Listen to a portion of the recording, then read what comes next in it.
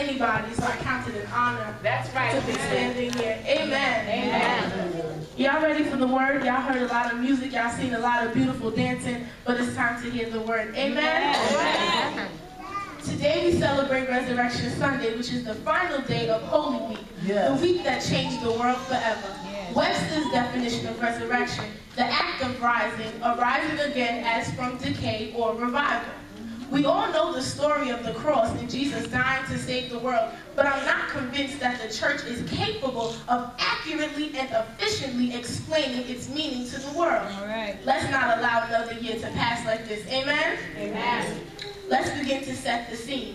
It was during the feast of the Passover. This is a Jewish celebration where the blood of a slain lamb was put on the doorposts of homes so that the death angel would pass over the home stamped with the blood of a lamb. Yes. Jesus, the Son of God, was sent on a three-hour walk on Friday morning through Jerusalem, carrying the cross on his back. Come on now. When he got to Calvary, he was nailed to an old rugged cross, Glory. Mm-hmm. crowned with thorns, beaten, spit on, laughed at, and doubted. Mm-hmm. Ultimately, giving the world his last seven words and dying. Yes. Our Lord and Savior hung on the cross all night Friday night, and on Saturday was taken down, wrapped and put into a borrowed tomb with a stone to seal it.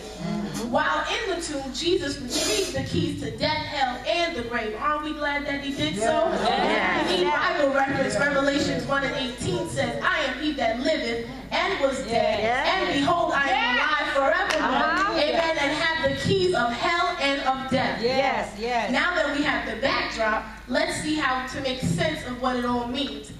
John 3:16, everybody should know this by heart says, For God so loved the world that he gave his only begotten Son, that whosoever believeth in him should not perish but have everlasting life. Hallelujah. God sent his only son to the physical realm via immaculate conception to live, teach, and ultimately give himself for the world. Mm-hmm. Jesus Christ gave himself to pay an outstanding debt he didn't even owe. Hallelujah. Jesus died that our sins may be forgiven and to give us eternal life as part of the package of salvation. Yes. John 10 and 10 says, The thief cometh not but for to steal, kill, and destroy. And I am come that you might have life Yes, and that you might yes. have it more abundantly. Yes. The reason we are able to have an abundant life and promise of victory over death is because Jesus, the Christ, suffered, bled, died, and rose from the dead on the mm-hmm. third day Yes. with all power in his hand. Is anybody glad that he rose Hallelujah. again? Hallelujah.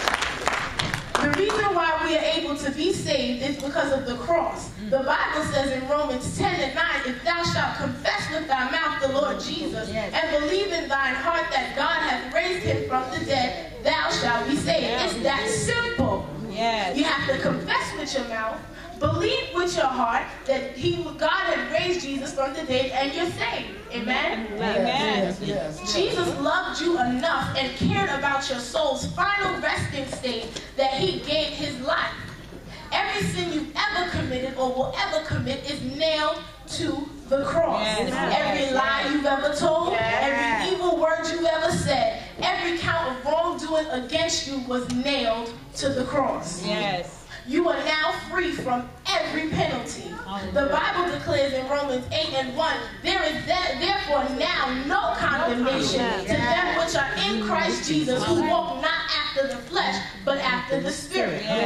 This simply means because of the blood that was shed on Calvary's cross over 2,000 years ago, you are no longer prisoner of the sin you have committed. Once you're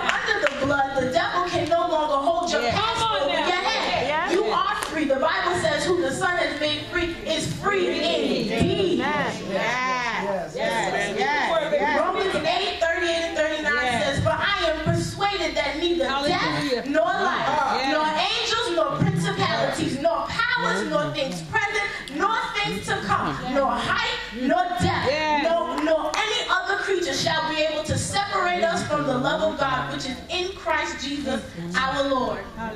Today we celebrate the resurrection of our Savior and his ascension into heaven. Know that Jesus died for you, but is not dead. Jesus is alive and seated at the right hand of his Father, patiently waiting to return for his people. Yes. John 14, 2 and 3 says, In my Father's house there are many mansions. Yes. If it were not so, I would not have told you. Yes. I go to prepare a place for you, and if I go and prepare a place for you, I will come again and receive you unto myself, that where I am, ye may be also. Yes. Yes. Amen? Amen. In closing, he rose and lives, and, ha- and we have an opportunity to gain eternal life through the promise of the cross. Yes. Take Jesus up on his offer and allow him into your heart as the risen king in your life.